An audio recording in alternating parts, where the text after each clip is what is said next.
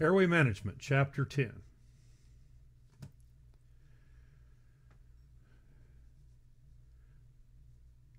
Primary component of caring for patients is ensuring that they can breathe adequately. That is a major part of our jobs. We have to be good at it. We have to recognize when our patients are breathing well. We have to recognize when they're not breathing well.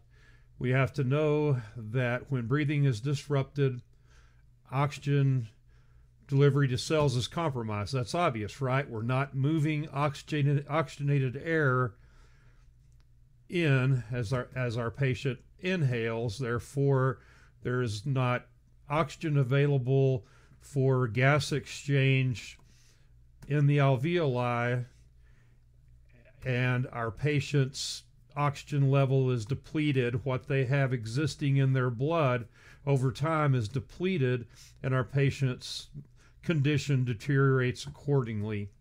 Uh, the first organ to be impacted and fail to function normally is going to be the brain.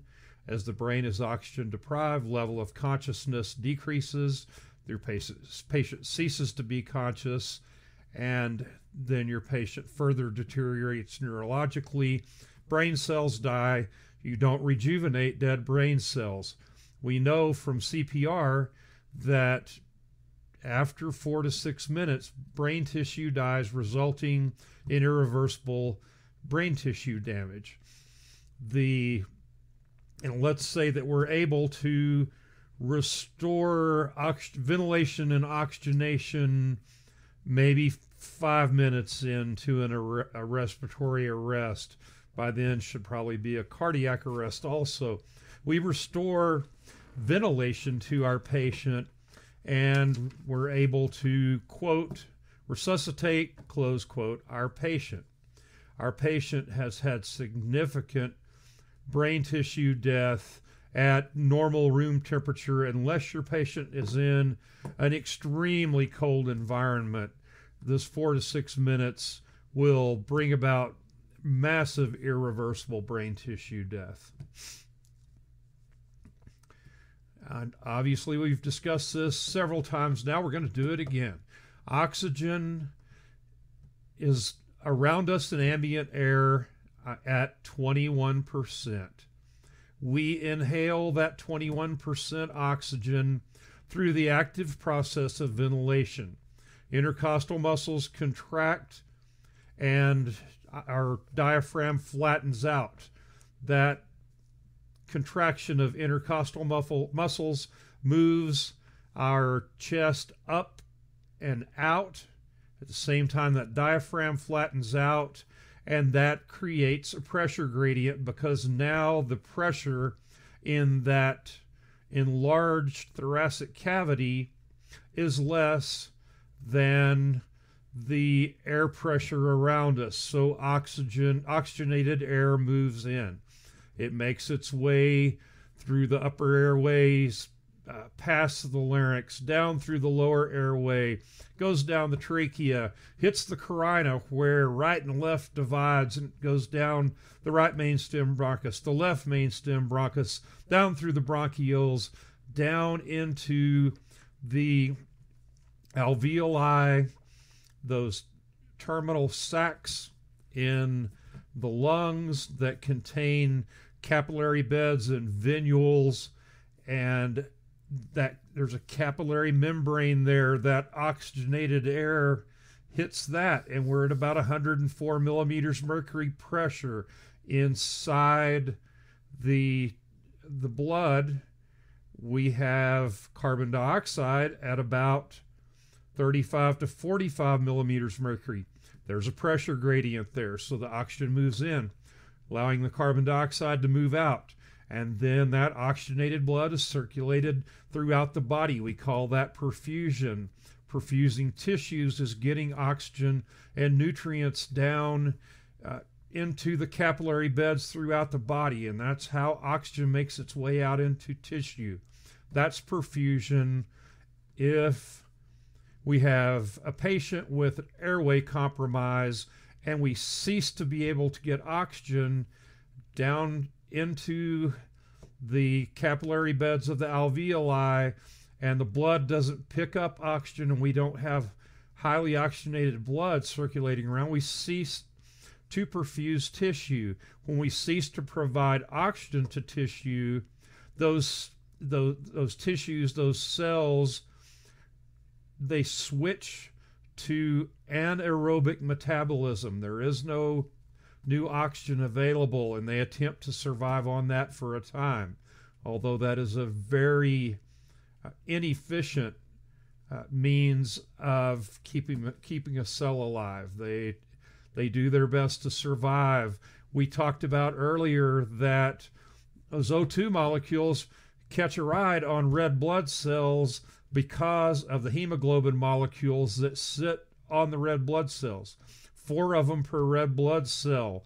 Each one of those molecules can carry an oxygen molecule, and they, the the hemoglobin latches on to that oxygen, and as it's circulated around the body, it lets go of the oxygen, releases that in uh, in tissues as it moves around. Then it circulates back around to the right side of the heart, gets pumped out to the lungs to do it all over again, right? No new news there. Upper airway, lower airway, no new news there. The division between the upper and lower airway is the larynx. We talked about this in the human body chapter. Everything above that is upper airway, everything below is lower airway. Your patient has their oropharynx, their nasopharynx, and then collectively, posteriorly, we have the pharynx down to the larynx, through the larynx, down the trachea. And then that division that I was talking about, this point right here is called the carina, where the the trachea divides into the right main stem bronchus, the left main stem bronchus, then the smaller passages are the, the bronchioles, uh, especially affected by asthma, have inflammation and constriction. We'll talk a lot of, a lot more about that later. Then we move on down through those bronchioles that that gets smaller and smaller and smaller until we're down here in the alveolar sacs where red and blue connect here, right? Uh, where where that connects, you have oxygenated blood on one side, deoxygenated on the other. And that's where our gas exchange is taking place. And we have hundreds of millions, if not more than that, uh, of alveoli, these alveolar sacs.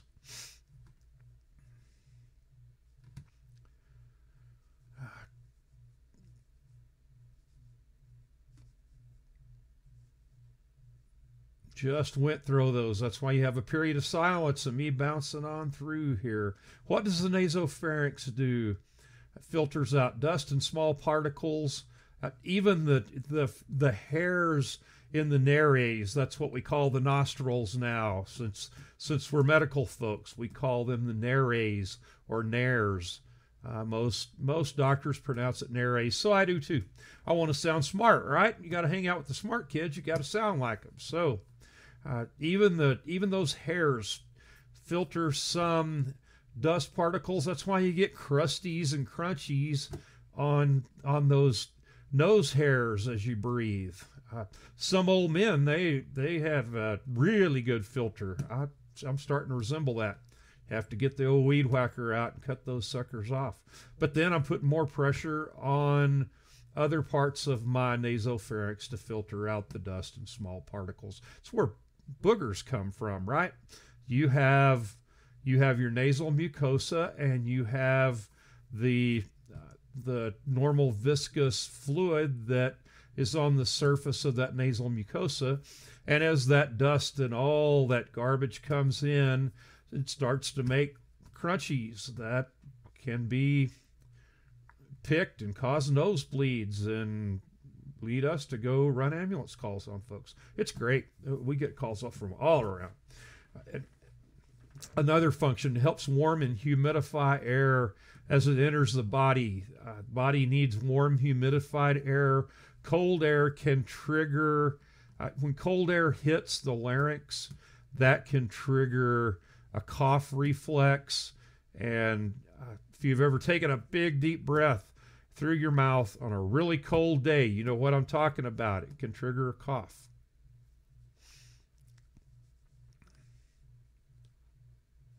Okay, let's hit something else right here. Uh, that oral pharynx, it goes two directions, right?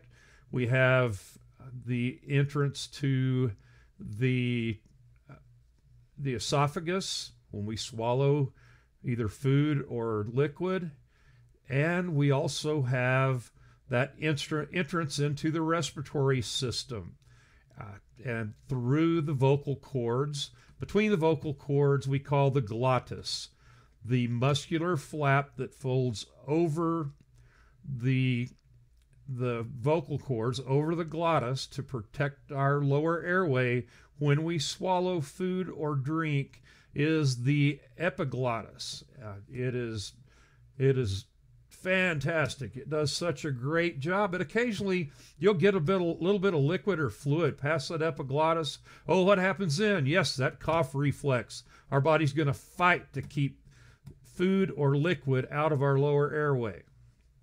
If it makes it below there, we call it aspirating. Okay. Uh, uvula, the little hangy down thing in the back of the throat, that's a landmark. Uh. Uh, this is a this is anatomy. I probably shouldn't be wasting time with this, but I'm going to anyway. Thyroid cartilage, that big piece that makes up the superior part of the Adam's apple. Then you have the cricoid cartilage below that. Between the two is a membrane called the cricothyroid membrane. In case you wondered what this stuff looks like with the laryngoscope, think of this arrow is pointing anteriorly. So this is the front of our patient. We're coming down through their oropharynx with our laryngoscope, which is what we use to visualize and intubate a patient. This little muscular flap, that's the epiglottis. We have a couple of ways to move that with a laryngoscope, depending on which blade we use. This is ALS stuff, but you'll hear it talked about over and over, and I want you to be familiar with it. So we get that muscular flap moved anteriorly or up toward the front of the patient. And now what do we see? Oh man, we see vocal cords right here and right there between them, this little dark sliver, that is the glottis. Through the glottis, we move on down to the lower airway. So I went out and found that picture for you guys. You're welcome. I just wanted you to see what it all looks like. Below the glottis, We've moved into the lower airway. We have the trachea, bronchi, bronchioles, alveolar, uh, the the alveolar sacs. Uh, the alveolar sacs are contained within the tissue of the lungs themselves, uh, and that's good enough. Okay, the carina is the place where we divide, where the trachea splits, and it moves into the right main stem bronchus, the left main stem bronchus. Bronchi, they are supported by cartilage. So you, those cartilaginous rings that we have in our trachea, those continue on at the carina and on down the bronchi. Uh, broncho, bronchi, of course, is one. That's how we move. We move oxygenated air down to the lungs and to the alveolar sacs and that's also how we exhale and move the deoxygenated air out. Looks kind of like that. I like my picture better.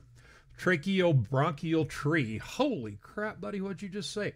Trachea, bronchi, and then bronchioles splitting out. Man, that gets, gets smaller and smaller and smaller till you have that little microscopic termination known as an alveolar sac. Okay, bronchioles are made of smooth muscle. they dilate and constrict as oxygen passes through. And then this very smallest terminal portion of the bronchioles connect to alveoli. So way down here where we can't see anymore. In asthma, a patient has an inflammatory response in those bronchioles. At the same time, they have constrictive response in that smooth muscle in the in the I mean in the bronchioles. I said bronchi in the bronchioles. So they have an inflammatory response in the bronchioles, and they have at the same time smooth muscle contraction within those bronchioles. So that makes those air passages smaller and smaller and smaller as that squeezed down and filled up with inflammation. So we have to engage medications to cause bronchodilation. Bronchodilation, we use a, beta 2 agonist drug, which we'll talk about on Thursday. Uh, that causes bronchodilation. It relaxes that smooth muscle.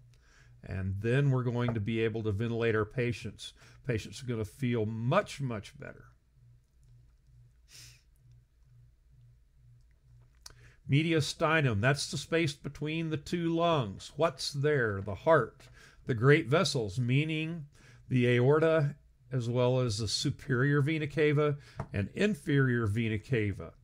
The esophagus also sits there, the trachea, and the largest portion of the bronchi is up there in the mediastinum, and then there's a collection of nerves in the mediastinum. Why are we even talking about that? Sounds like doctor stuff. When we learn about a pneumothorax or air accumulating in the thoracic cavity, and that simple pneumothorax, meaning air accumulating in the thoracic cavity between the chest wall and the lung, as that fills up, it gets bigger and bigger and bigger. We start to call that a tension pneumothorax after it starts to encroach on the mediastinum and interfere with the great vessels the, and the, the heart and the trachea. That is called a mediastinal shift. If you were looking at an x ray with a physician and you were trying to determine if your patient had a simple pneumothorax or a tension pneumothorax, you would hear them say, the mediastinum seems midline. I don't see a mediastinal shift. Therefore, we have a simple pneumothorax, provided that we don't have anything, any indication of poor perfusion, such as the blood pressure falling, uh, tracheal deviation, those kinds of things. That tension pneumothorax. Remember in patient assessment, we talked about assessing to see if our patient's trachea is midline. Why do we care? In a severe tension pneumothorax, you will occasionally see tracheal deviation. The as that shift in the mediastinum pushes through, pushes through, pushes through, you can start to see possibly the trachea start to deviate. Very, very rare that you see that. That is a late sign. But something you might see is jugular venous distension. Why do we talk about that? If this mediastinum is being shifted, let's take a garden hose not literally, but picture a garden hose with water coming out of it. And you take that garden hose, you hold one hand like this on the garden hose, the other one like that, and you start to push your bottom hand over and over and over. Eventually, you start to kink that garden hose. What does that do?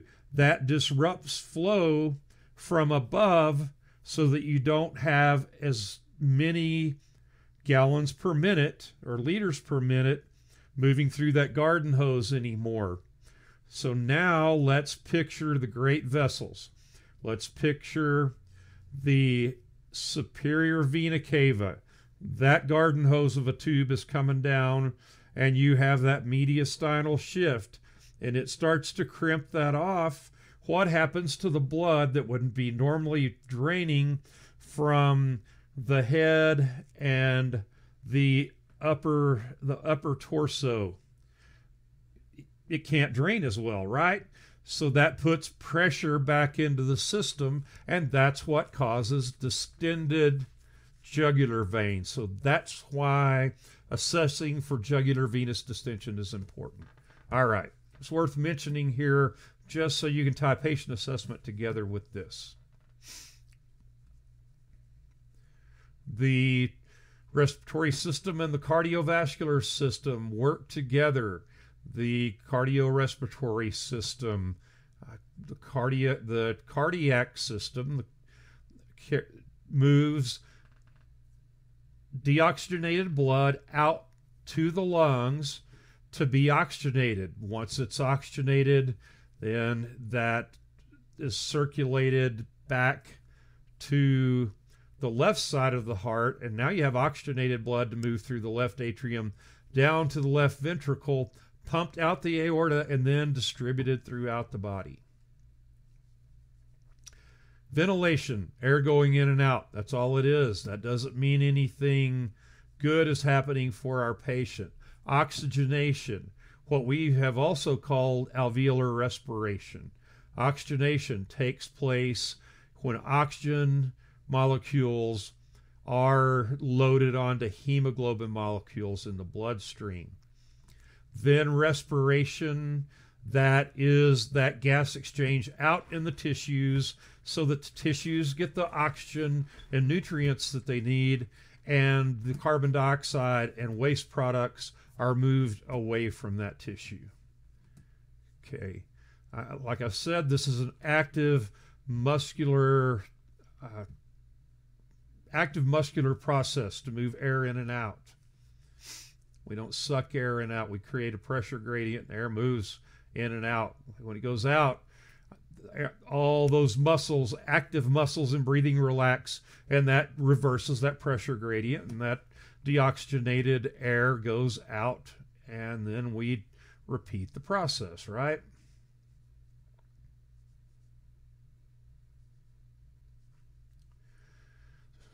Let's remember a couple of things we talked about the other day. Tidal volume in milliliters or cc's the tidal volume is the amount of air that moves moves in and out in one breath. Dead space is that portion not involved in gas exchange. So that'd be everything from the alveoli up, right? So if we have a tidal volume of 500 milliliters, that dead airspace could be 150 milliliters of that or more. Okay, we talked about how exhalation takes place. Regulation of ventilation. What in the heck controls this whole thing? Our body, as we talked about the other day, it's regulated and maintained by a complex series of receptors and feedback loops. In modern motor vehicles, you have sensors that sense things like how much oh man what am i looking for here? How much fuel pressure is available? A sensor for uh, how much uh, a co2 sensor how much carbon dioxide is left, I mean, CO sensor, how much carbon monoxide is being emitted as uh, after combustion. That that uh, that sensor. There's also a CO2 sensor. Right? That is in the catalytic converter. This isn't auto mechanics, but you have the computer, you have the brain in the vehicle that gets information about about how the vehicle is operating from these sensors all the time. Information coming back, going out, or adjustments that that computer is programmed to make to keep that vehicle running optimally, the optimal uh, optimal running of the vehicle. Now let's apply that to people. We work the same way. We have receptors. We have baroreceptors that sense uh, sense our blood pressure. We have chemoreceptors that sense the pH of our blood. Uh, in normal operation, normal functioning, the the rate and depth of our ventilation is controlled in the medulla oblongata that is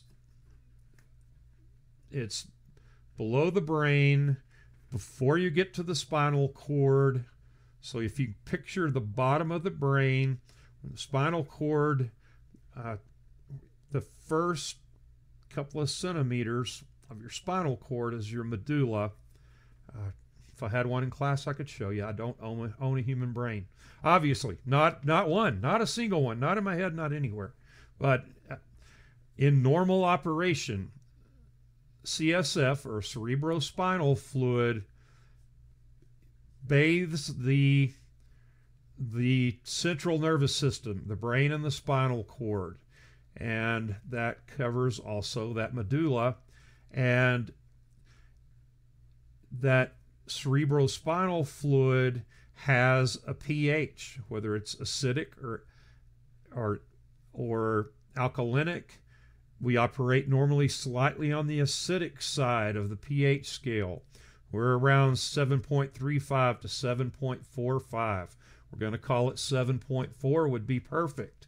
So when the pH of the cerebrospinal fluid gets too acidic, those chemo, think a chemical, those chemoreceptors pick up on that and they adjust the rate and depth of respirations accordingly. So that is what chemoreceptors do. It's a feedback loop. Uh, excuse me. For patients with COPD, chronic obstructive pulmonary disease, they all they operate with too much CO2 in their blood. They have too much carbon dioxide, which pushes them on the acidic side even more than normal all the time. And the body rocks along and it says, you know what? This seems to be the normal state of affairs. And Usually, I would adjust my rate and depth of respirations to get this back so that we're getting back to that 7.4. But that's not working now because we don't breathe right anymore. We don't breathe like normal. So, hypoxic drive, your, the body flips and starts to control the rate and depth of respirations based on the pressure, the partial pressure of oxygen in in circ in circulation in the body. Excuse me, sorry about that. Okay. Dang it. I can't make it go. There we go. Okay. Uh, Just because air's going in and out does not mean that alveolar respiration or oxygenation is taking place. Uh, it could be that there's not enough oxygen present in order to have diffusion so that oxygen is loaded into the bloodstream. Uh, so uh, and then uh, let's see, what's another instance? It could be that this patient's breathing in and out, but because of left sided heart failure, blood is backing up into the alveolar sacs, and some of that plasma is being pushed out across that alveolar membrane. And now you have a blockage that's interfering with oxygen making its way down into those alveoli, and our patients can decompensate and die quickly if that happens. So, respiration, we have actual exchange of oxygen and carbon dioxide at the alveolar level and also out in the tissues of the body. Uh, more pictures of it. Uh, internal respiration, your book, that's what your book calls the delivery of oxygen and nutrients out in those capillary beds and getting that out to the cells in the in the tissues of your body and then carrying carbon dioxide and waste away. So these would this would be venules and and capillaries connected uh, with that gas exchange taking place out into the tissue Time is of the essence, they say in legal contracts. Time is very much of the essence with respiration, with perfusion, perfusing tissues. Uh, hypoxic patient, uh, zero to one minutes, cardiac irritability, zero to four minutes, brain damage likely, four to six, brain damage possible, six to ten, it's more than brain damage likely unless unless they're in cold water. It's just dadgum near certain. And more than that, you have irreversible brain damage. What happens with cardiac irritability? With cardiac irritability, the remember I talked about automaticity and all those heart cells being able to take over and pace the heart as the myocardium, as those cells and those muscle cells and the heart get irritable, they'll start firing a little electrical impulse because they think they're going to die. So I'm going to take over and run the show. Bam, there's an electrical impulse. Another one says, nope, bam, there's another one. And you get those things firing. And eventually that that devolves into ventricular fibrillation, which you will remember is one of the two rhythms that we use the AED to attempt to shut down so that the normal pacing, electrical pacing of the heart can take over, right? Okay, chemoreceptors, I mentioned. Uh, okay, let me do it this way. Uh, hydrogen ions, the, percent, the pH, percentage of hydrogen ions in CSF, as detected by chemoreceptors in the medulla, are the primary respiratory drive. It's the backup to that if we have, for instance, that patient with emphysema or chronic bronchitis that I mentioned, that COPD patient, chronic obstructive pulmonary disease. We have they they live with a high level of carbon dioxide and a low pH. Carbon dioxide and pH work opposite of one another. So if carbon dioxide is high, too high, pH starts to get low. Uh, and in that instance, we have the, hypo- the hypoxic drive, which actually is a baroreceptor. That hypoxic drive takes over.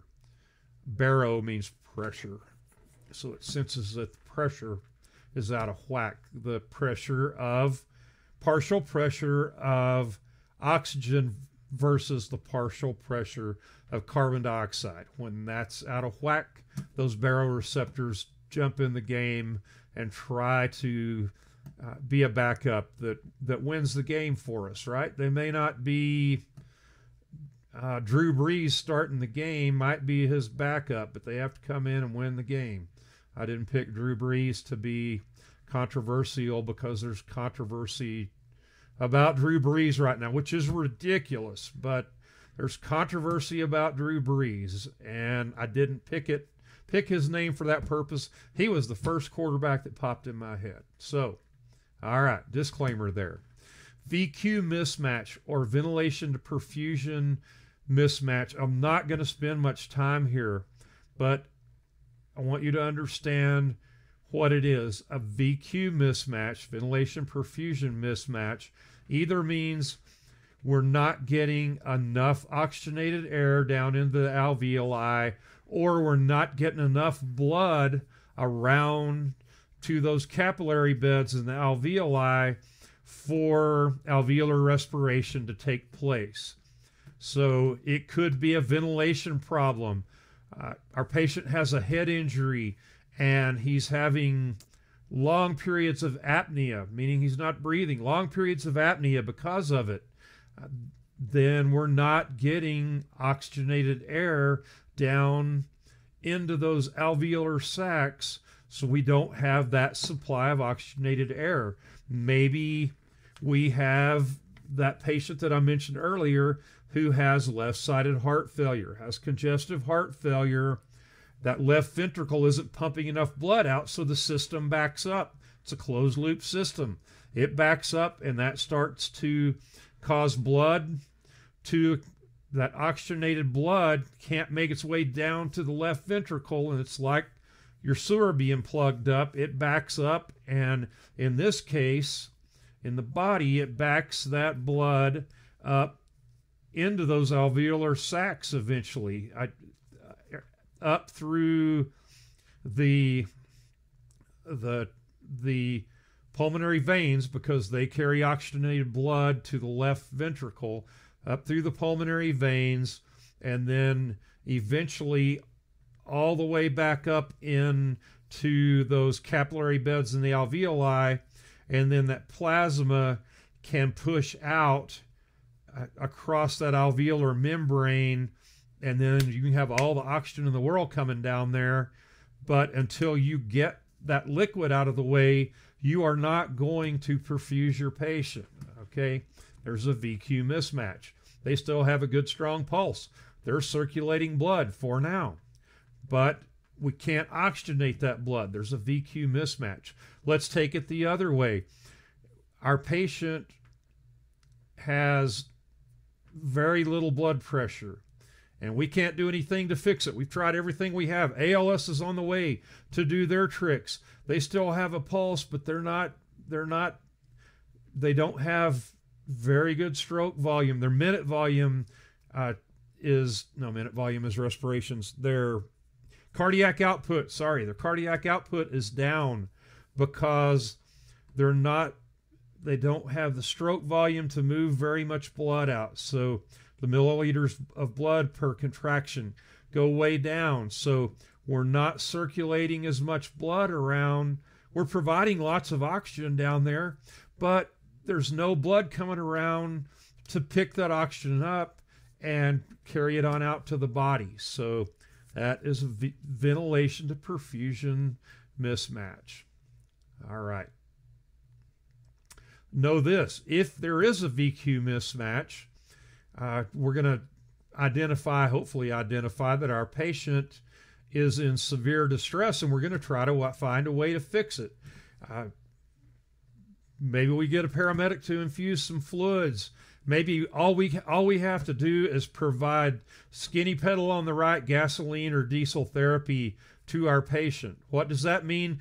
Get to the hospital as fast as you can while doing chest compressions if they get to that point, or providing positive pressure ventilation with 100% O2. We're trying to hold them over till somebody can do something to keep this patient alive. So severe hypoxemia can occur. That's a wrong statement. Ventilation with a VQ mismatch, if it's allowed to persist, severe, severe hypoxemia shall occur. It will occur. We're going to use a definitive statement there. Our job is to try to keep it on the may occur side, right? We don't want it to occur. That's why we're coming to this class and learning all this stuff to try to keep people alive until they can reach definitive care. You thought you were going through this just so you could pass your national registry, get out of the fire academy, and go be a go be a fireman. Probably 80% or more of your fire calls will be EMS calls. So you have to learn this stuff. You have to be good at it. if you're going to be a good fireman, you better be a good EMT so that you take good care of your patients. All right. Uh, obviously, your patient has to have a patent airway, right? Uh, that would be, uh, I mean, that's that's number one. If the airway isn't open, we can't do anything else, right? Intrinsic factors that would affect the delivery of oxygen all the way down to the alveoli infectious processes, inflammatory processes.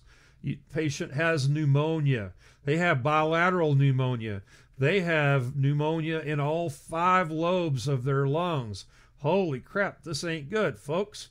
And I mean, I don't think it's really like this, but picture lungs full of pus from infection, and we can't get oxygen, oxygenated blood through to those to the to the capillary beds because there's too much pus around there squeezing those down. That's not exactly how it works. But if you picture that, you'll probably get pretty aggressive in in providing ventilation for your patients who have pneumonia. In fact, my description was way off, but you can think of it that way. We've got to get oxygen to those people. They need antibiotics. They may even need, need to be intubated if their pneumonia is bad enough. Uh, put on the ventilator at the hospital. Have IV antibiotics. Uh, stuff can kill you. That would be an infectious process. An allergic reaction. That the bee stung me. Well, I'm allergic to bees personally. I really am. Bees and wasp stings. And I've had a couple of run-ins with the little beggars. So my immune system is sensitized big time. So if I am stung by a bee, I'm going to be scrambling to get my EpiPen because next comes the hives, the upper airway swelling, the inflammation in my bronchi so that they squeeze down and I'm fixing to die. That's that good old Texas medicine. He's fixing to die. He got stung by a bee. What do we do? We better fix it. That's why we're here. And we're going to talk about a little pharmacology in our next lecture so we get an idea of how to treat that. So, uh, and then tongue obstruction. Remember, that's the number one obstruction of the airway. We use an oropharyngeal airway or a nasopharyngeal airway to move that tongue out of the way and ventilate our patients, right? Uh, trauma, massive chest trauma can cause injuries to the lungs themselves so that you you couldn't ventilate you can't ventilate the patient. You can't get air down there because there's too much blood and mangled tissue. And if you got it down there there wouldn't be any respiration because everything in the lungs is damaged to the point that that there can't be any gas exchange. What do we call those people? Dead. We call them corpses. Do you have a funeral home preference for your husband ma'am that is the obvious end question that somebody is going to have to ask. First, they say, I'm so sorry, we've done everything we can do for him, and he did not make it. All right. Uh, foreign body airway obstruction. Uh, all the restaurants been closed. I've been dying to go out to Hoffbrau, my favorite steakhouse. Go out to Hoffbrau and have a big old steak like I can afford one. I've been saving up my money because I want to go out to eat a steak. And the first night I go out there, and I'm so excited that I'm eating this steak. I cut off too big a piece. I take a bite. Somebody says something funny. I suck that piece of steak down, and it lodges in my oral pharynx. I have a foreign body airway obstruction. Are we going to get air past that if we try to ventilate me now? No, that is blocked. I'm going to stand up, give the universal sign. I'm going to put my hands on my throat and then give me 30, 60 seconds, somewhere in between there. I'm probably going to become unconscious and unresponsive. And if you leave me that way for four to six minutes, then I will have severe brain damage. You keep me that way for a little bit longer, uh, and I'm going to be dead. And somewhere in there, my heart muscle itself, those cells, are deprived of oxygen long enough that they get irritable and they all start firing, and then eventually I'm in VFib. So now I don't have circulation. I don't have ventilation, and soon I ain't going to have nothing because dead people, you don't get to take it with you. They say that all the time, right? So I'm losing all my stuff. I can't take it with me. Don't let me go there. You got to save me. You got to do the Heimlich. You got to do something call ALS to come use some Magill forceps and pluck that piece of steak from my oropharynx so that I don't die. I've gotten to do that before, pluck that piece of steak out of someone's oropharynx. Man, I was the hero of the day. They thought I'd done something miraculous. That's one of the easiest things in the world. I can teach you in five minutes. But don't tell anybody. That's one of those paramedic secrets that we ain't that great after all, huh? You have to be able to recognize it. You have to be able to do it. I could get you there pretty quick. All right. External factors. Atmospheric pressure. At high altitude, is there less oxygen? No, there's the same amount, 21%. If you go to 30,000 feet, there is 21% oxygen. What is different? The atmospheric pressure. So the partial pressure of oxygen is lower, which decreases that alveolar respiration. I'm not getting as much oxygen in because there's not as much ambient pressure around me to move that oxygen. So that 104 millimeters mercury goes down to, let's say maybe, oh, it's 90 now.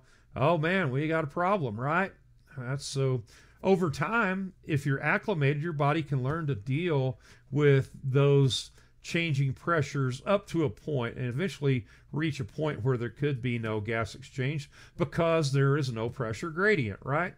Okay, internal factors pneumonia, pulmonary edema, that's fluid in the lungs, COPD and emphysema, that's in emphysema, the the alveoli become stiff, they don't contract very well, they become stiff so they don't work as well. And you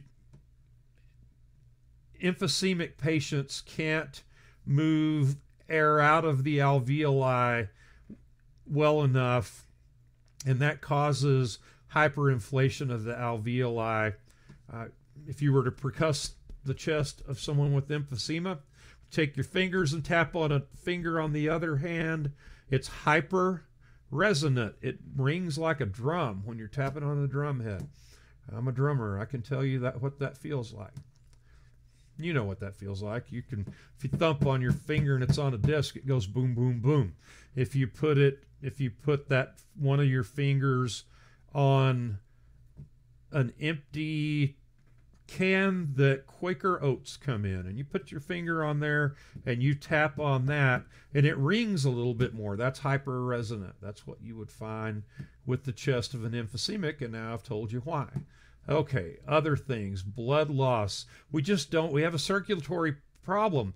We just, our patients bled out, and there's not ava- available blood to send up to the uh, up to or down to deep deep down in there to those alveolar sacs. Anemia that is a decreased red blood cell count.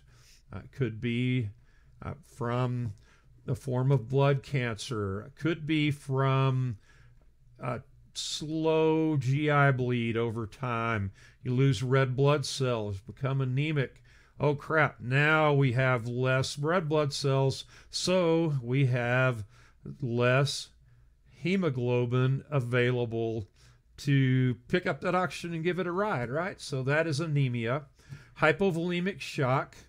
We've lost massive amount of blood and we're not circulating that blood around uh, to the alveolar sacs, to those capillary beds. Or vasodilatory shock. What the world? Patient who has they have septic shock. Uh, they have systemic throughout their whole body, an infectious process. Eventually, the toxins from that infection build up to the point that they, bam, they cause massive vasodilation. We don't have enough fluid to fill up the pipes anymore. The pipes just got too dang big on us, not enough fluid to fill it up. Therefore, we don't have the pressure to pump the blood around to the capillary beds in the alveoli. So respiration diminishes and eventually ceases, right? That that alveolar respiration can't take place. Uh, and then another uh, and then psychogenic shock, hear bad news, and that slams ner- the the autonomic nervous system in a few people, causes massive causes massive vasodilation. That person passes out. Good news is that is a transient process that's going to reverse itself pretty quickly. Another time you have massive vasodilation would be in in anaphylaxis. You have that that systemic massive allergic reaction and that causes massive vasodilation in a full in in full-blown anaphylaxis. And we don't have enough liquid to fill up the pipes anymore because the pipes just got too big. So the blood pressure tanks the amount of blood that we have available to pump out to the body decreases. That would also decrease the amount of blood that we have available to send out to the lungs for oxygenation Okay, things to recognize in patient assessment. Uh, I'm not going to take a break because you guys can take your own break by pausing this video anywhere. So I'd normally pause here, but I am going to keep on trucking. Uh, normal respiratory rate's 12 to 20 a minute in an adult, right? If it is faster than that, or if it's slower than that range, with signs of poor perfusion, we need to provide positive pressure ventilation for our patients. All right. We're going to take over the rate and depth of, of ventilation for that patient with 100% O2, and we're going to deal with this problem that they have. Uh, all right.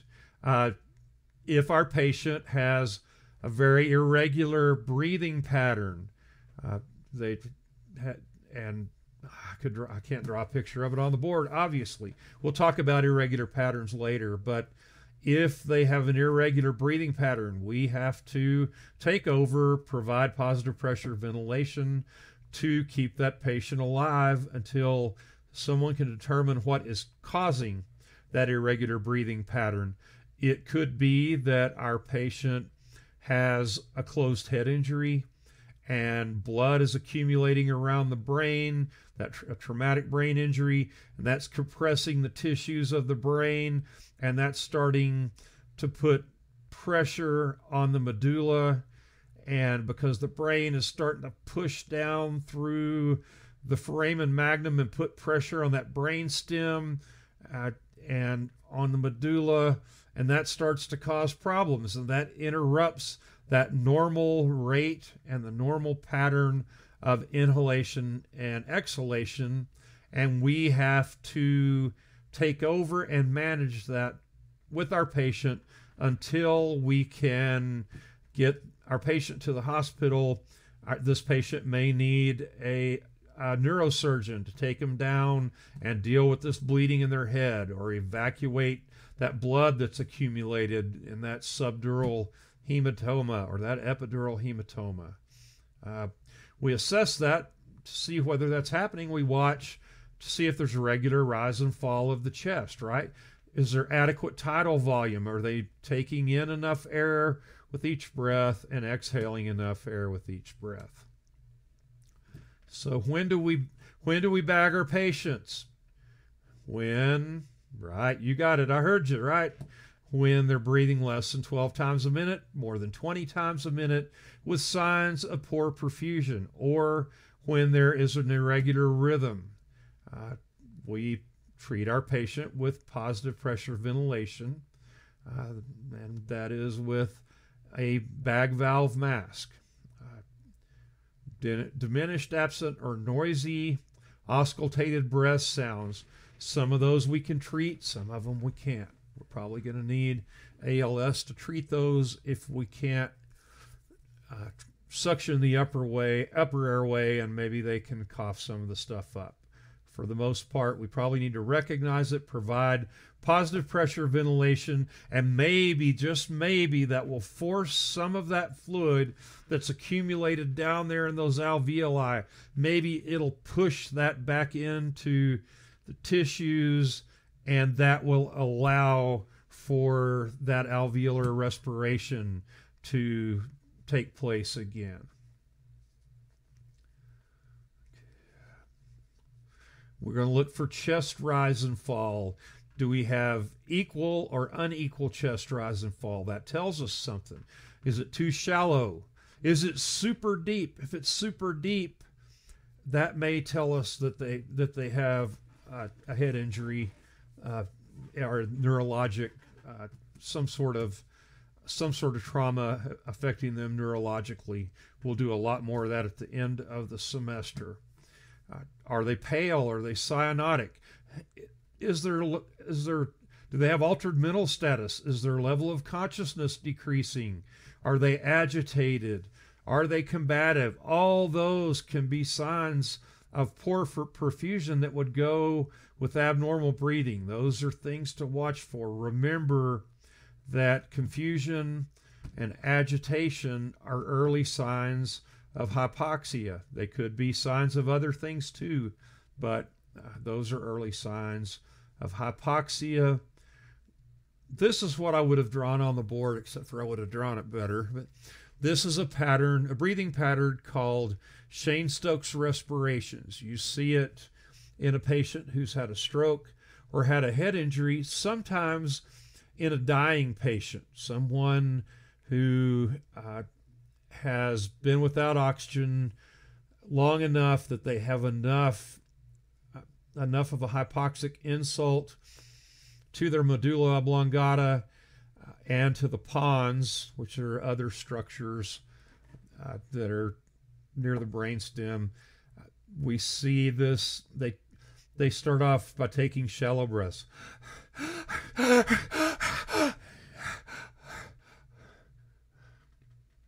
and then there's a long period of apnea, and then shallow, and then it crescendos like music, crescendos, then decrescendos.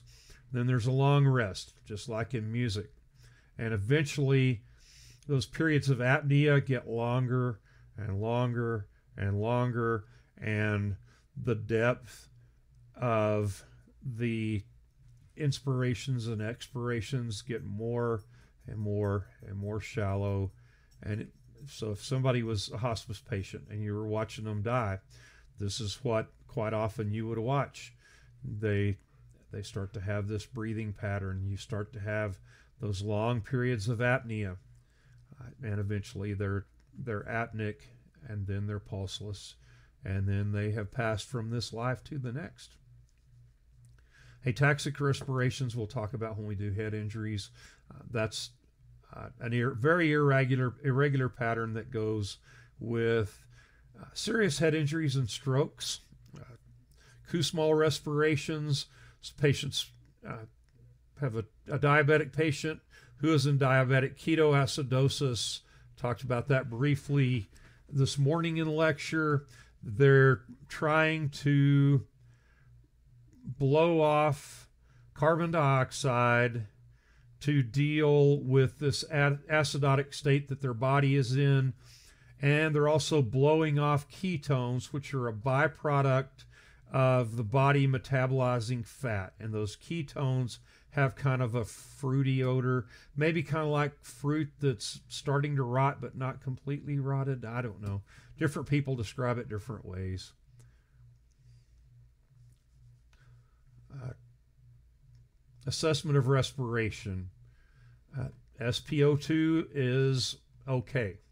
It's better than nothing. If you have end-tidal CO2, that is your best indication of respiration and perfusion. If they're between 35 and 45 millimeters mercury of, of pressure in that end-tidal volume uh, of air, if that's how much CO2 is there, then that patient is they're they're perfusing normally. Okay, level of consciousness and skin color, those are your quick signs. Uh, pulse oximetry uh, below 94 currently. We're going to deliver oxygen. We're going to make sure they have an open patent airway. We know how to open that. We've done it in CPR, now we've talked about it in lab also. You use Fred the head to look at that. Dentures, what do we do with those suckers? If they're in place, they're solid in place, that is going to help maintain an airway by maintaining that face shape. It also helps us get a max, mask seal if we're going to ventilate our patient. We're going to leave those suckers in place. If those dentures are loose, they're going to eventually interfere with the airway. We take those out, put them in a safe place, hand them off to when we transfer patient care, we want to also hand off those dentures, glasses, anything like that that we have. But those dentures, those suckers are expensive. I mean, people sometimes have sometimes have dentures that cost four or five thousand dollars. Most people can't afford to shuck out shuck out another five grand. They had to go through something horrendous financially to to afford them, and we don't want to lose them. So be careful with those things. Make sure you hand them off. Document who you gave them to, and if you delivered upper upper plate, lower plate, both. That's important to cover your butt down the road when they're trying to find the dentures. You don't want the service you work for having to buy some new dentures for those folks because somebody's gonna. And if you documented it, it puts it inside that hospital somewhere, right? Uh, blood, we have to suction that out of the way. Vomitus or emesis, we have to suction that out of the way. Mucus, we have to suction that out of the way. Get those chunks of of beef stew, get the chunks of beef out of there. If you have to pull that that Yankauer ton, Yankauer tip suction that that that uh, that uh, suction catheter off of the hose crimp the hose, cram the hose down in the airway, and then release the crimp so it starts suctioning the big chicken noodle soup that's in your patient's oropharynx. Do it. You got to get it out of the way. So hopefully that painted a good enough picture for you to see what you need to do. And then other foreign objects. Maybe somebody had a they had a straw that they'd been chewing on, and it used to be a nice Sonic straw, red. It was pretty good, had a pretty good size lumen in it, pretty long straw because they had a had a Route 44 drink, and they started chewing on that because they were nervous or because it was just a habit or they thought it was fun, and they chewed that up, and then they had it in their mouth chomping on it. And then they had a wreck, and that piece of Sonic straw went back and blocked their oropharynx. We have to get that sucker out of the way. You know how to do the head tilt chin lift. You know how to do the jaw thrust maneuver. The thing I'll point out, we're going to use the jaw thrust maneuver anytime and every time we suspect C spine trauma. You know that. We've done that. If you use your fingers to open a patient's teeth, make sure that you don't end up having a piece of your finger or your thumb as another foreign body airway obstruction. They will bite you and they can bite a finger off. So be careful. I would recommend not sticking your fingers in somebody's mouth. And if you do, I didn't say this, but I'm gonna because I want you to keep all your fingers I don't want you to look like you work in the oil patch. I want you to look like you work in EMS. Those little orange bite blocks that we used the other day in in airway adjunct lab to push the tongue down and and slide the oropharyngeal airway in. I don't even think we're supposed to do this anymore, but I want you to have all your fingers and your thumbs. So pry, pry their mouth open and put that little plastic bite block, the fat end, the heavy end, in between the molars. A bite block. That's what that's for.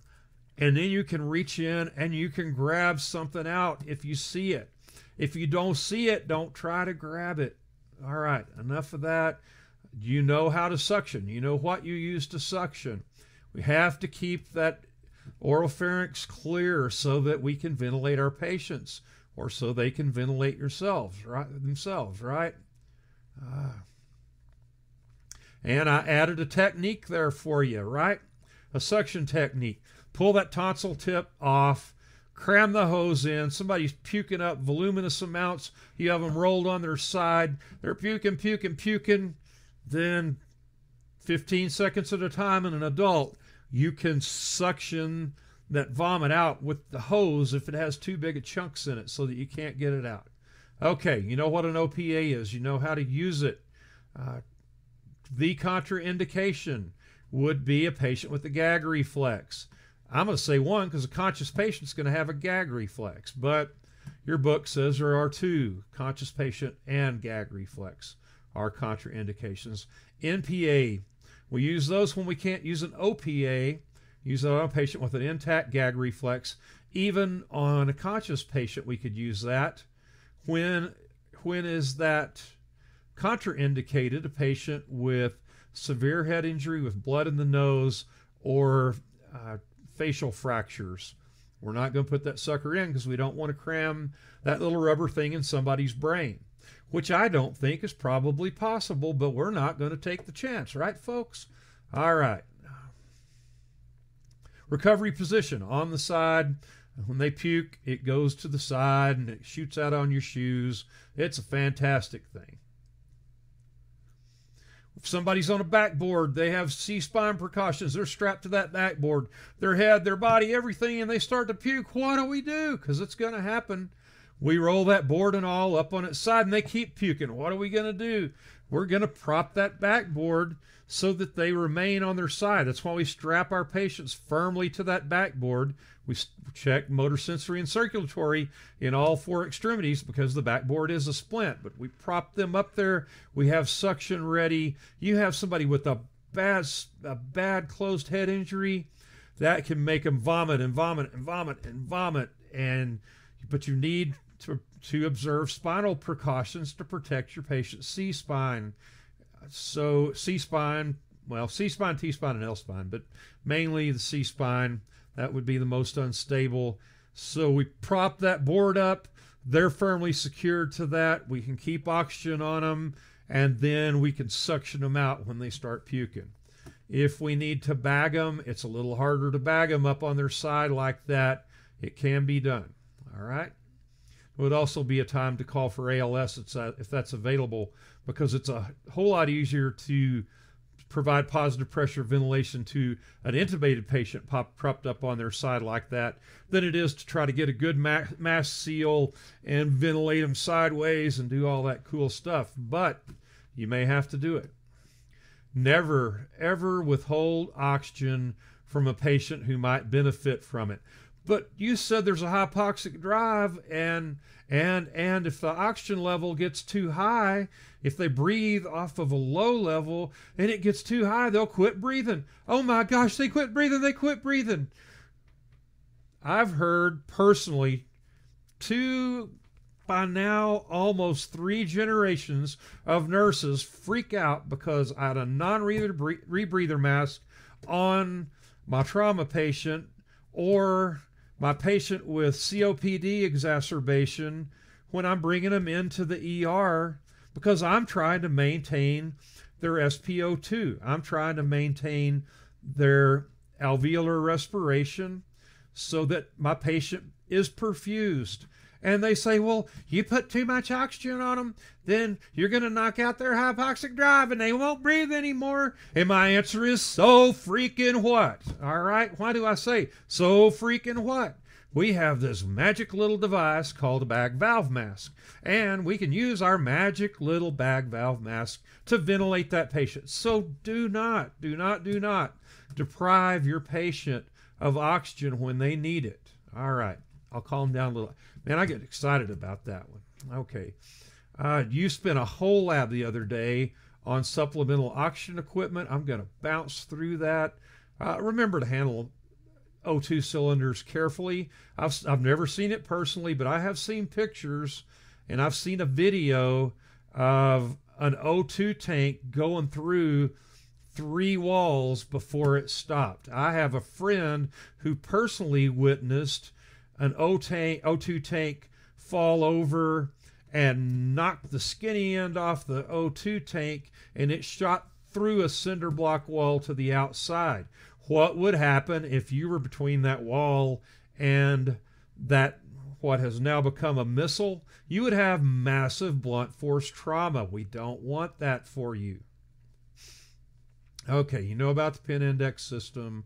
You know what the regulator is for. It steps down that that 300 pound 300 psi 200 psi regulates it down to maybe 30 40 70 psi then it's low enough we can put our flow meter on there and we can regulate how many liters per minute of oxygen our patients receive. Uh, remember that the percentage of inspired air, the FiO2, would be dependent on our number of liters per minute and the device that we're using to deliver that, right? Non rebreather mask, we're going to push 90 plus percent at 12 to 15 liters per minute. And then a nasal cannula at 2 liters per minute is going to give us about 28%, right? Okay. Oxygen doesn't burn, oxygen doesn't explode, oxygen supports combustion. So, with oxygen present and, a, and fuel and a spark, you can have a big explosion, but oxygen does not burn.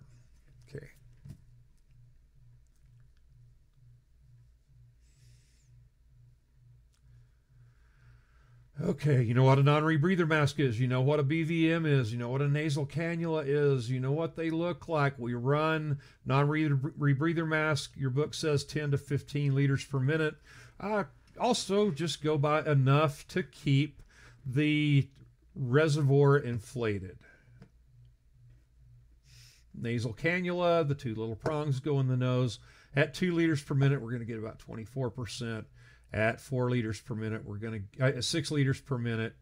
We're going to get no, no, no, no. One liter per minute. We're going to get 24, 28, 32, 36. Yeah, one liter. That's wrong. Scratch that out. Put one liter per minute. We'll keep Buddy honest here. And then 44%, we're going to need six liters per minute of FiO2 to achieve that 44%. We never, ever, ever, never, ever run an oxygen cannula above six liters per minute. If we need more than more than 44%, we're going to go back to one of those bad boys. What if that isn't enough? We're going to use a bag valve mask connected to an oxygen supply. We want a bag valve mask with a reservoir so that we can provide close to 100% FiO2. Venturi mask. See these little plastic things? Those fit in that elephant trunk part of the Venturi mask, and you can change precisely the amount of FiO2 in that little nozzle there with changing out these little plastic things. These little plastic things also tell you how many liters per minute of flow rate it takes to achieve the FiO2 that you desire to deliver to your patient. All right? Uh, ranges from 24 to 40%. Those fell completely out of favor for a while. And four or five years ago, they started coming back. I've always liked them. I used to use them all the time. I preferred those over a nasal cannula if my patient could tolerate a mask because I knew what my FiO2 was. You also have a dang good, I'll say dang because I'm not going to say another word on this recording. You have a dang good idea of your FiO2 with a nasal cannula anyway. Tracheostomy mask, we're almost done, folks. Tracheostomy mask, someone who has a stoma. Where's a picture of a stoma? I don't have one. My kingdom for a stoma. Uh, somebody, let's say they had, had laryngeal cancer, had cancer in their voice box, and they had to have a laryngectomy. All that was removed, and they now have an opening into their trachea pretty close to where the carina is, just superior to the carina, I do believe. And they have a little tube that goes through that tracheostomy into their trachea just above the carina. And most of the time there's a little adapter. You want to know a trick about that little adapter?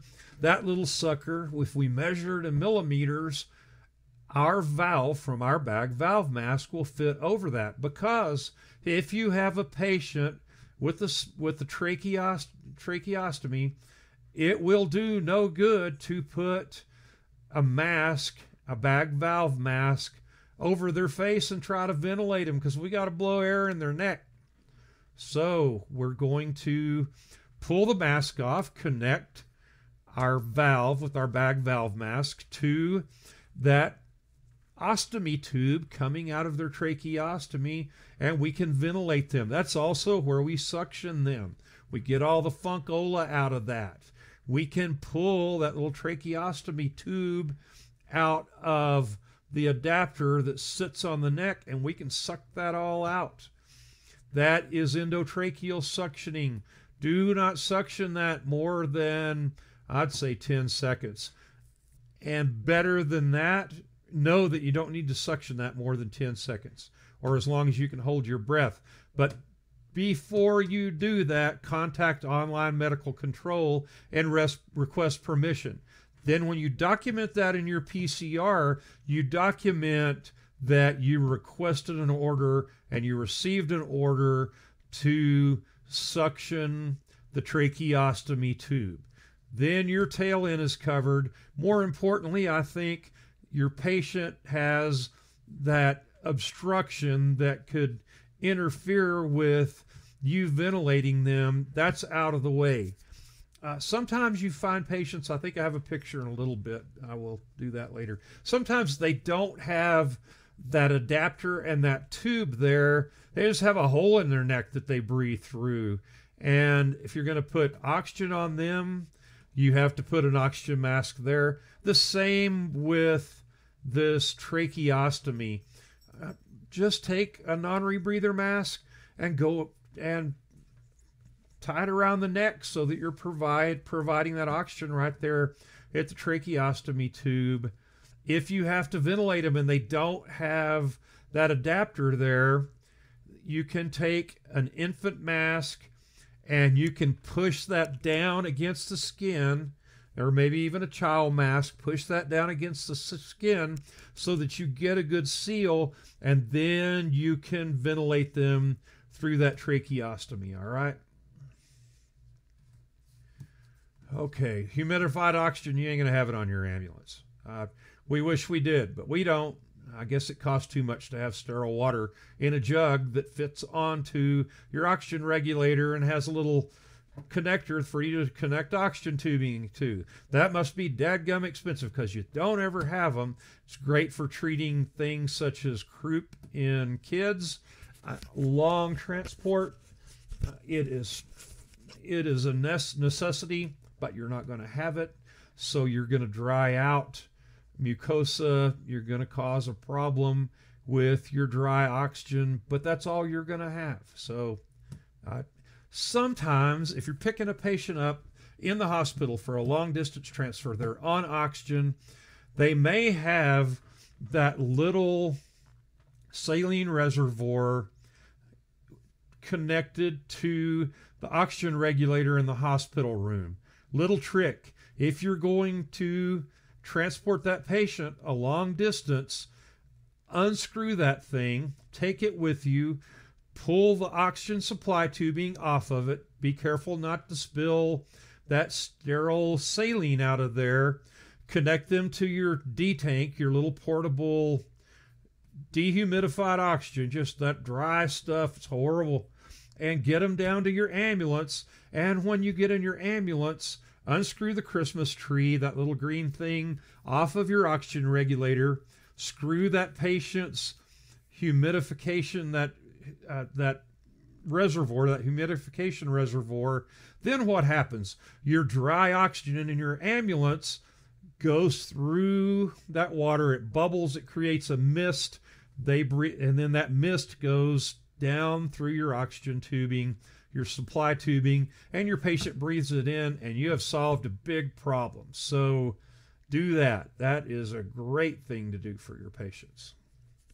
Okay, you know how to to do artificial ventilation, assisted ventilation. Their tidal volume is insufficient, so we're going to bag a system enough to get chest rise. Okay, that's the tidal volume. How often? We're going to shoot for a breath every five to six seconds, so that's 10 to 12 a minute, right?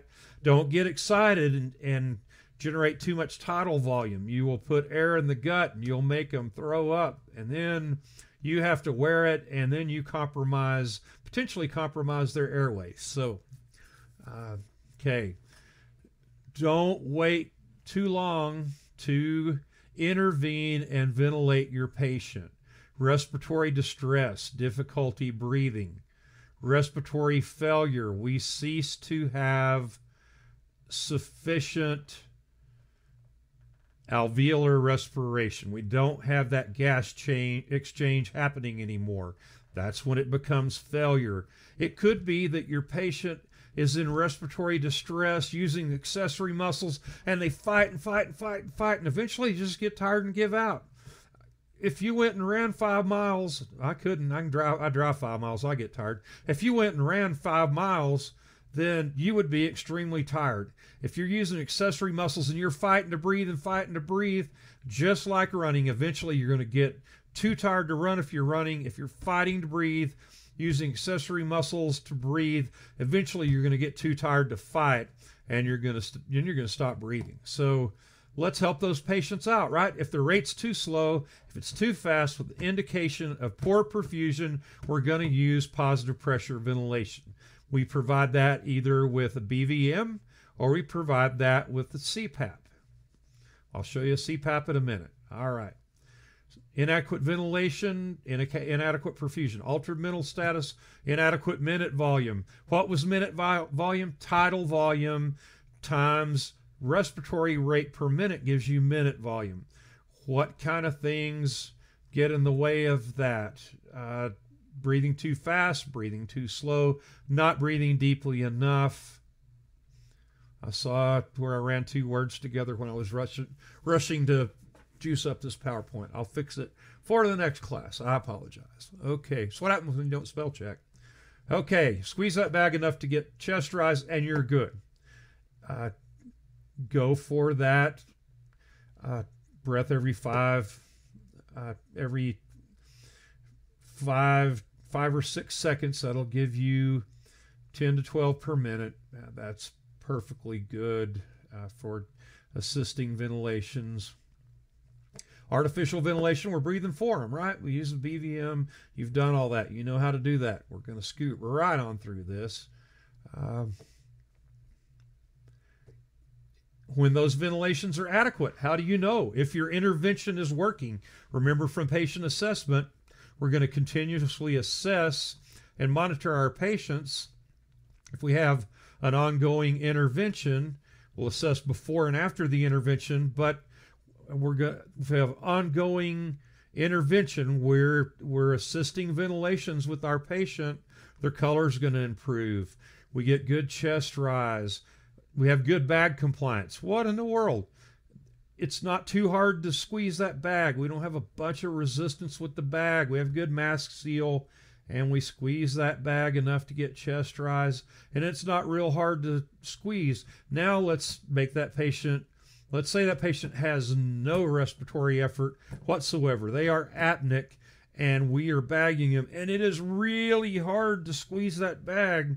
That can be a sign that or a couple of things. Our patient could have severe gastric distension, which is interfering with our uh, it's and it's pushing up into the and it's encroaching on the diaphragm. It's pushing up into the thoracic cavity. All that pressure, all that distended stomach, and we have trouble pushing air down into the lungs with our bag. That could be poor bag compliance. Or let's say our patient has a tension pneumothorax, eventually that can cause poor bag compliance. So that is something we always need to note when we're when we're ventilating a patient, whether our bag compliance is good or not, whether the resistance feels normal or there's just too dadgum much of it, right? That's precise medical term, too dadgum much. Okay, TD, TDGM, too dadgum much. That's how we abbreviate our new medical term. And then you you hear and feel air escape as the patient exhales. That's good, right? That's a BVM. You know how to run that sucker. You know when to do it. You know how to do it. Don't be afraid to do it. Be careful with gastric distension. I got ahead of myself again. Seems like I always do that. You'd think I prepare for these lectures and get excited about what I'm going to tell you and I get ahead. Yep, that's it. But I should control myself, right? Chill out and just deliver it when I get to it. Okay. Gastric distension is going to affect children sooner than it's going to affect adults. It will affect adults. If you bag too forcefully and too rapidly, too forcefully and or too rapidly, you will end up with a patient with gastric distension and that is going to decrease the amount of tidal volume you're going to be able to deliver to your patient. What else is it going to do? Your patient, okay, here we go. Air takes the path of least resistance, right? So when we fill that stomach up, we distend, distend it, distend it, distend it. Which is the path of least resistance? Out the pyloric sphincter into the small intestine, through the small intestine, down to the to the cecum, out to the to the large intestine, up, over, down, hit the rectosigmoid colon, then the rectum, through the anus out to the world, or is the path of least resistance up through the esophagus? Yeah, it's number two, up through the esophagus. And when that happens, not only does air come out, vomitus comes out, and you're run a high risk of your patient aspirating that vomit, and then you have created a major problem for your patient.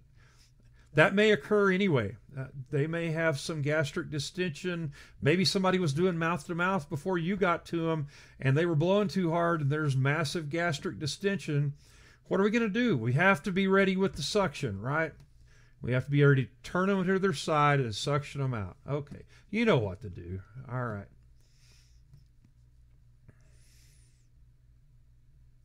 I got excited there for a minute. I guess I'm, I must be passionate about aspiration. No, my aspirations are to avoid aspiration. How about that? All right. Hey, I know words have multiple definitions. Okay. Uh, passive ventilation, I'll briefly talk about this.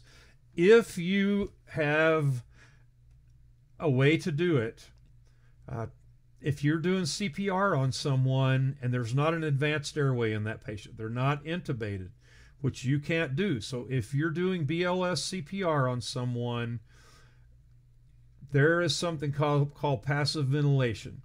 We take a nasal cannula and put on our patient using one flow meter, and we run that thing at six liters per minute. And then we have our bag valve mask connected to another another flow meter, and we have that running uh, at enough to keep that that reservoir reservoir inflated. Why am I doing that? That's just like that's belt and suspenders. Why do you need both? Chest compressions create a pressure gradient in the chest. And as those so if we're doing 30 to 2 chest compressions to ventilations because we don't have an advanced airway. When we're doing 30 compressions, then two ventilations, we're creating a little pressure gradient as we do those chest compressions. And if we have a nasal cannula there through passive ventilation, we're going to provide a fairly rich amount of oxygen in the patient's upper airway, and some of that's going to make it into the lower airway, and it might help. Studies have shown that it does help. So we're not going to go into all of those come to paramedic school. We'll talk about them a lot more. Okay, manually triggered devices. We don't use those much anymore. Uh, used to call, one of them was a demand valve. You put that sucker with the mask over, and you get a good mask seal, and you push this button, and this stinking button delivers one liter of 100% oxygen every time you ventilate your patient. Well, what is the normal tidal volume? Didn't we say in an adult it was around 300 to 350 milliliters? If you said yes, you were correct. We did say that. So we have just overpressurized our patient for no reason. We delivered way, way, way too much tidal volume down in the alveoli. We can cause barotrauma. We can rupture those alveoli. They're like a little balloon and they can pop. So we rupture alveoli. That's barotra- barotrauma. The other thing we do that, that happens, we just talked about that gastric distension. We keep putting air in, air in, air in, and there's mushed up, chewed up cheeseburger and malt. They had a whole large strawberry malt at at Whataburgers. That's 32 a 32 ounce malt. If you haven't ever, if you accidentally screwed up and ordered one of those, you would know. Or if you intentionally, that is a lot. And they ate a cheeseburger and they got a, and they drank a 44 ounce diet Dr Pepper, and then they had a refill and they drank another one, and then they went into cardiac arrest and somebody started mouth to mouth on me. Hopefully never, but started mouth to mouth on me over at the Whataburger by my house here at 34th and Coulter, and they're starting to get a little air in my gut. And then what if you came along and you got you had one of those manually triggered ventilation devices and you keep blowing air in my gut, and you're blowing air in my gut, and you cause that gastric distension by air in my gut. I mean through my esophagus down into my stomach and that thing it stretches until there's so much pressure there she's got to blow. And like a whale in the ocean that exhales and you have that big spout of water that comes up in all the old cartoons. That ain't how whales work either but that big spout of water comes up on the whale in the ocean in the old cartoons. And my big spout of double meat double cheese Whataburger with sliced jalapenos my French large order of French fries and my 32 ounce strawberry malt and my 64 ounces of Diet Coke that I managed to swallow down into my stomach. That comes out along with all that air and it sprays everywhere. It's all over you. It's all over the floor. It's on the guy behind the counter. It's just a horrendous sight and it's got that stinking red color from the strawberry malt in there, so it looks like I'm blowing blood everywhere. Oh man, what a sight, huh? What a mental picture. Let's avoid that. Let's use a BVM and ventilate enough to get chest rise because we do not want that scenario that I just described to play out because there is a good chance that I may end up aspirating some of that stuff as well. Okay, do not use those in patients with COPD. We'll pop those little alveoli. They're stiff. They're not very flexible. Patient with emphysema, pop, pop, pop, pop, pop, pop, pop. All those things pop like a popcorn popper when we're when we're blowing that big amount of tidal volume in there with this thing. Yeah, you can see now why these things have fallen out of favor in EMS. Meaning we don't use these suckers anymore, right? Okay, last, uh, oh, almost last. Uh, portable ventilators, uh, automatic transport ventilator. Uh, we use these on intubated patients, just like they use a ventilator in the hospital on intubated patients. It has less bells and whistles than the one at the hospital has. We have control over tidal volume FiO2, uh, back pressure, also called PEEP, uh, several things like that. We have lots of control because these are these are fancy little portable ventilators, but and your book says I mean, this is a no hands deal, right? The ventilator ventilates that patient at the rate and tidal volume that is set. And it says this frees up the EMT to perform other tasks. Back to my two word response bull crap. That exceeds your scope of practice. You cannot manage that transport ventilator legally. You need an AEMT, a paramedic, or a respiratory therapist, or somebody like a flight nurse who's trained to manage a ventilator to ride along with you, even if you're in the back in your ambulance as the EMT, this is my truck, but there's a transport ventilator. You need someone whose scope of practice includes managing that ventilator. You do not do it. Refuse to do it. What if they yell at me? Refuse to do it. What if they yell at me more? Refuse to do it. Call your supervisor. Call your boss. Get somebody whose scope of practice includes managing that device to transport that patient. You're going to work hard for your certification. Don't throw it out the door by by doing something like that. It's just just crazy. What but what if it? I'm in a small town, a small town hospital, and it's a guy I went to high school with, and we were on drumline together, and we've been buds since sixth grade when we started off in beginning band playing drums together. I don't care. You do not manage that transport ventilator. Okay, enough of that. I think I made my point. Okay, CPAP. Uh, I think you've seen one of these in lab. If not, we'll show you one. Uh, it's it's a type of positive pressure ventilation. Uh, people with sleep apnea, they sleep with these suckers on. I'd, I'd, have to have sedation to make me go to sleep, I think, because I don't know that I could sleep with that thing on. Uh, they are widely used now. It is also a, a basic life support positive pressure ventilation device. It increases pressure down into the alveoli. It opens collapsed alveoli.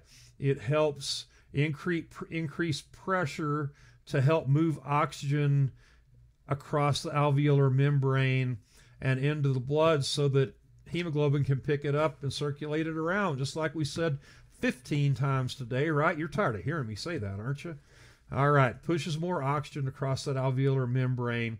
And as i mentioned earlier if we have interstitial fluid that is through pulmonary circulation has pushed its way across that alveolar membrane and it you have a VQ mismatch, right? You can't you can't get oxygen, can't ventilate the patient to get oxygen past that that that interstitial fluid and into across the the capillary membrane and into the bloodstream so that what they're going to hear. Ad nauseum means you hear me say something till you want to puke. But I want to make sure you get this. We move that oxygen across the alveolar membrane into the into the blood so that what the uh, the, the on the red blood cells the hemoglobin can attach to that oxygen so it can be delivered out to the tissues of the body. Organs are comprised of common types of tissue. We, we provide that oxygenated blood out to those tissues and it moves out into the tissue, and we call that perfusion, right? Uh, yes, that is perfusion. That is a cool thing. Okay, uses a face mask that straps to the patient's head. You get a good mass seal. Uh, be careful in using this in patients with low blood pressure. It can cause blood pressure to lower, lower even more. Uh, your patient needs to be alert and able to follow commands. They have to show signs of moderate to severe respiratory distress. Remember, we're trying to fend off respiratory failure, and we may be able to use this device to do that in the proper patient. Uh, patients breathing rapidly, their SpO2 is less than 90. Uh, we can put the CPAP on them and deliver oxygen, and that oxygen, uh, oxygenated air, it does a couple of things. It helps reinflate and maintain inflation of alveoli.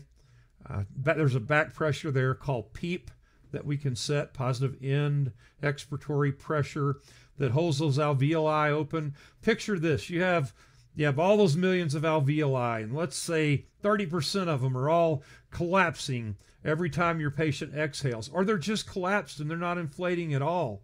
But we put some back pressure in there, and all those little balloons blow up. So now with PEEP, you have that back pressure to keep them open, and then with that positive pressure from the CPAP that pushes that pressure down all the way to the alveoli with every breath those inflated alveoli receive that that oxygenated air more easily because you don't have to reinflate them and you provide that oxygen to cross that capillary membrane.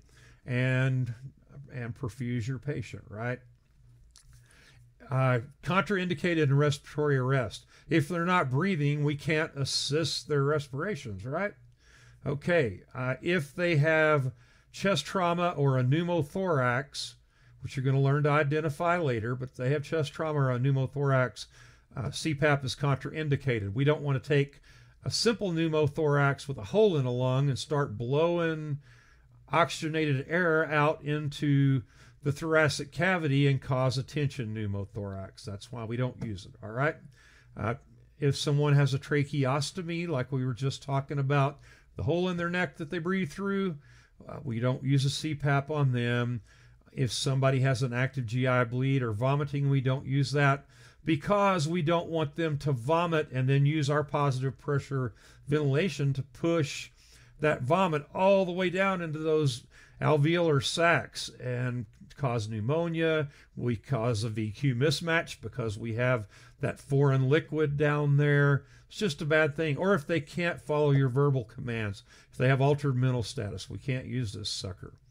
Um, along with it, I mentioned this already, with CPAP, uh, you can, on most of them, you can dial in the amount of PEEP you want, positive end expiratory pressure.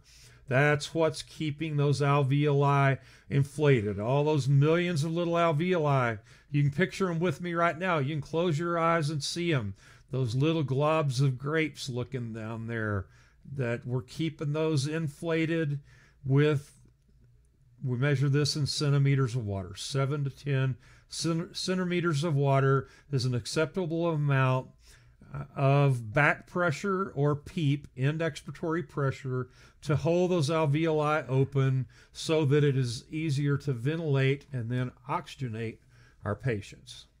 Uh, complications somebody is claustrophobic, it can make them totally freak out having that mask strapped to their face and sealed down to their face.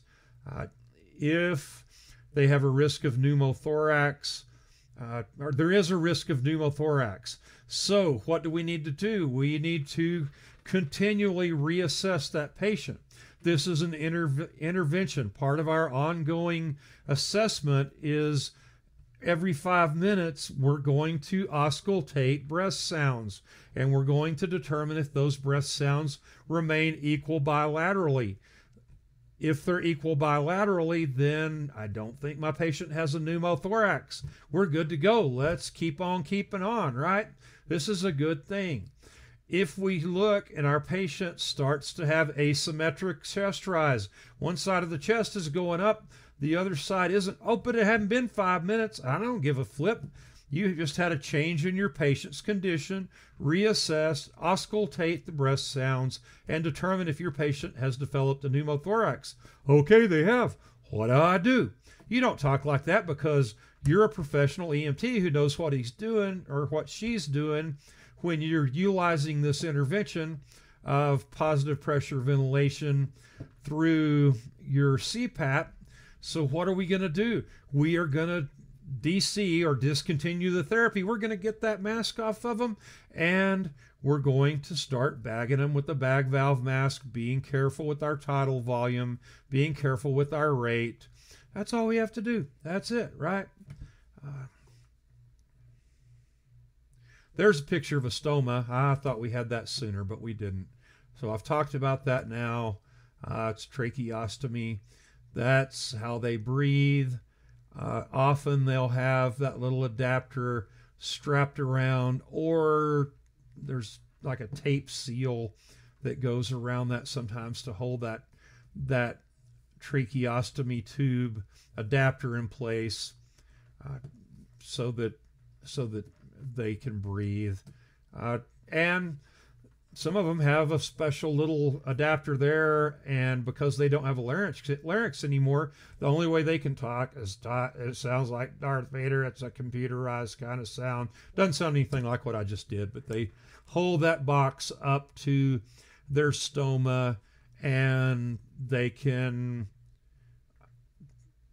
How do we talk? We send different amounts of air through our vocal cords, and they constrict and relax to provide the frequency of the sound. So you don't get much sound frequency when somebody has a laryngectomy and they put up the little the little box to their stoma to talk, but they learn to talk by controlling that airflow. Uh, they can't. I couldn't do this lecture with one of those boxes if I had one of those, but anyway. All right. What I'll do if I need to ventilate the patient uh, with the stoma, we already talked about that. We'll just use, uh, we can ventilate them through their tracheostomy tube. We suction as needed, contact medical control for permission to do that endotracheal suctioning because you're down there in the trachea where that stoma is, and then call for ALS. Uh, if you have a patient with a stoma who's in respiratory distress, and ALS is available. Call for them. You can either rendezvous with them on the way to the hospital, or they can come to your scene, or they can fly to meet you. But that patient is likely to need uh, need ALS. Um, if they have a stoma, but they they aren't breathing, we can use an infant or a child mask to get a seal over that stoma and ventilate them. We could put a non-rebreather mask over that to to, to uh, provide to increase the FiO2 that we're delivering to them. You know how to manage foreign body obstruction, the Heimlich maneuver that we did the first, the, the second and third days of class. Uh, if your patient can still exchange air, if they can still talk, even if they have noisy breathing, let them try to expel the object. They are likely to be coughing their heads off and gagging and gagging and coughing because those reflexes are stimulated. It's the body's way of trying to clear the airway. Uh, and have poor, ex- poor air exchange, decreased level of consciousness, uh, severe difficulty breathing, uh, expiratory stridor, inspiratory stridor, cyanosis. Treat that with uh, treat that immediately. Need to try to get that out of there. Call for ALS. Maybe they can remove the obstruction that's in the way. Uh, if your patient becomes unresponsive and not breathing because of a foreign body airway obstruction, begin CPR with chest compressions and hopefully the the chest compressions will help dislodge whatever's in the way. Call ALS. Maybe they can get the the culprit out of the airway. Maybe they can't, but we will always try. Okay. Um, dentures already talked about. Facial bleeding. We're going to control facial bleeding with direct pressure, and we're going to keep an eye out for bleeding into the airway. Uh, and if somebody is bleeding into the airway, if they have if they're bleeding in their in their mouth or their posterior oral pharynx, maybe when they T-bone, maybe when they they uh, almost said a bad word, when they had the rear end collision and they were driving the car and they were texting and they had for some reason they were sucking on a marble. Uh, people do crazy things Maybe they had a marble in their mouth, bouncing around, sucking on a marble, and they. Uh, no, no, that's the wrong thing. Okay, they had something sharp. They had a rat tail comb sticking in their mouth. I'm getting tired here. Sorry. They had a rat tail comb in their mouth, the pointy end first, and they had the rear end collision, and they went forward and hit that rat tail comb on the steering wheel, and it poked it backward and it lacerated their oral pharynx and they have bleeding back there, or it lacerated the soft palate and they're bleeding in their mouths. We have to keep that suctioned out. We have to get the blood out of the airway. Externally, we can use direct pressure on the face. Internally, we just have to keep it suctioned out. Put them on their side. Uh, if they're on a backboard and C-collar, prop the board up, and we have to keep them suctioned out. That is how you manage facial bleeding. That is how facial bleeding, if you have a full thickness laceration through the cheek, that's going to bleed a lot. I've seen that before. It does bleed a lot. Keep that blood suctioned out, but we have to keep them oxygenated at the same time, right? So we have to have them on their side so that blood pool, pools in their mouth so we can suction it out and blood doesn't pool in the oropharynx. Uh, these days, if that's significant enough and you call ALS, they will, uh, sedate, paralyze, sedate and paralyze your patient with medications, and then they will intubate your patient and haul them away. All right, that is the airway chapter. Took longer than I thought it would. That covers it. Uh, it is there for you to watch. It will not be on your exam on Thursday. Only patient assessment will be on your exam Thursday. So you have plenty of time to watch this lecture, and then we'll have the two chapters that we lecture on on Thursday, and you'll have a three chapter exam a week from today. All right. Thanks, folks.